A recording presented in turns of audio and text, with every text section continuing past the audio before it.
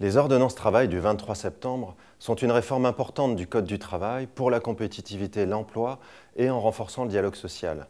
Signal très clairement positif pour les entreprises pour investir en France. Trois axes. Le premier, c'est des souplesses nouvelles pour s'adapter sur le terrain par la négociation, par exemple directement avec ses élus non syndiqués dans les entreprises de moins de 50 salariés ou euh, en dialogue direct avec ses salariés dans les entreprises de moins de 20 salariés.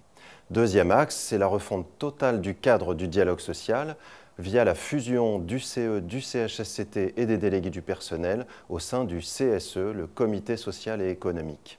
Enfin, troisième axe, ce sont plus de souplesse, mais aussi de sécurité pour le licenciement et le contrat de travail, le plafond prud'homme, naturellement, mais aussi le contrat de mission, par exemple, au niveau d'une branche professionnelle. Autant de mesures qui vont dans le sens de l'adaptabilité et de l'incitation à se développer et à créer des emplois.